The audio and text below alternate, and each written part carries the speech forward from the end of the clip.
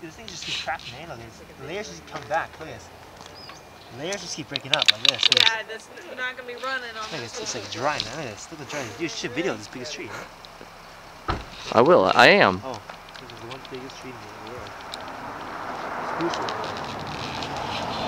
So uh, a little half a year ago, this uh, tr tree or snapped or snagged or what that means, and uh, this is what's left of it. When